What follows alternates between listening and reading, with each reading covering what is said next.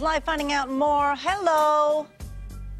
Good morning. So we really take this for granted that we have UC Davis right in our backyard, especially the Mind Institute. They do some amazing work here. And one of the things is this study, and they are still looking for kids to participate between the ages of 8 and 12. So parents, if you're watching and thinking that your kid is highly distractible, this may be for you. So Julie, you're the creator of all of this. And so you guys decided to use virtual reality. And how did you get these distractions? You talked with teachers and parents? Exactly. And kids, too. I wanted to know what they found distracting because I wanted to be realistic for them. And so you're asking kids to to participate in this, and they get to take these home, these virtual reality headsets home. And so, what are you asking them to do once they get home?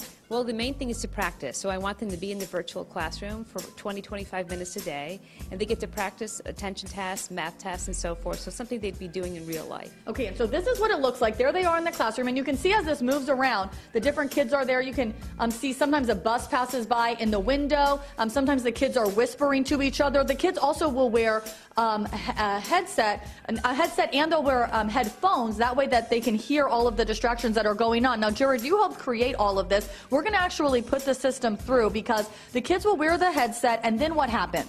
Uh, so uh, they'll put the headset on. It's super simple. Sit down in the chair kind of like this, and then we'll start a series of tasks.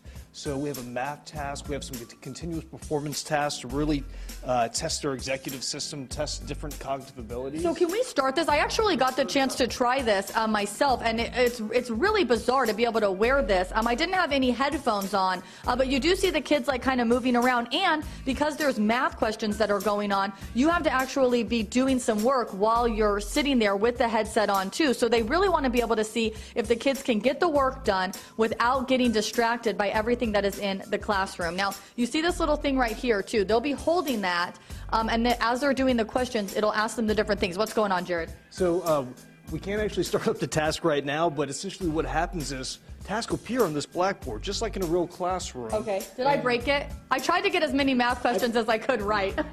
you did. You did. You didn't break it. Uh, you did great when you ran through, though. And uh, they'll make responses on the controller, and in the headset, we'll be collecting uh, what they're looking at uh, we'll be collecting eye tracking data. Okay. So we can see if they're actually distracted by our distraction. And let me show you with this too. So let's say on the on the whiteboard, it comes up with the thing saying like one plus one equals two. It'll say press up for two or press down for three.